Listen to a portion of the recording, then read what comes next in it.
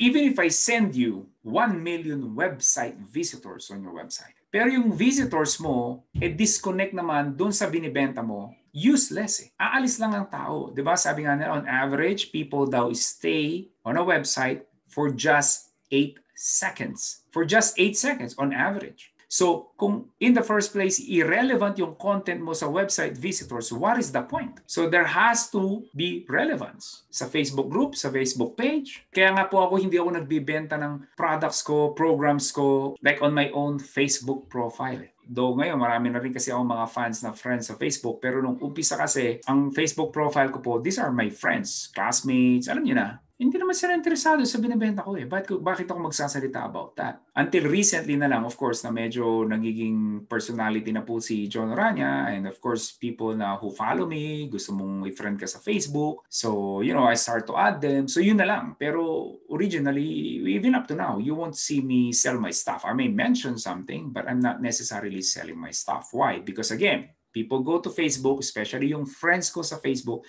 they go to Facebook not to buy my stuff So I should stop. Ang Facebook is like going to a party. People go there to have fun, chit chat, kill time, not to learn about your passion about personal finance. So it is important. Or why they should buy life insurance, or why they should invest sa real estate or cryptocurrency, they don't go to Facebook to learn those things, especially coming from your timeline. Again, I'm not saying don't do it. I'm just saying go where people are looking for you. Same amount of work, but you get ultimately more results.